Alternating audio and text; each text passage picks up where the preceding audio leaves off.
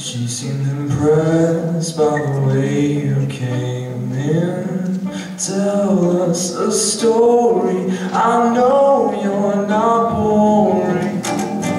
I was afraid that you would not insist.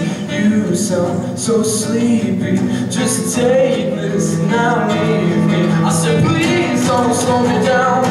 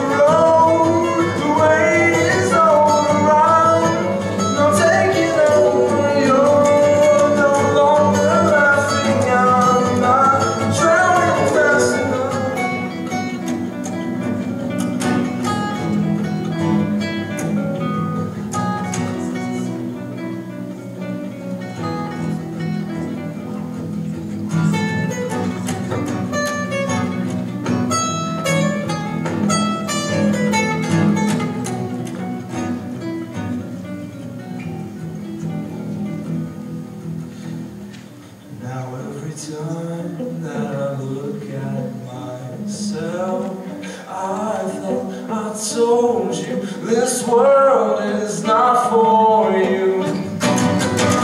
On fire and she's fixing her hair.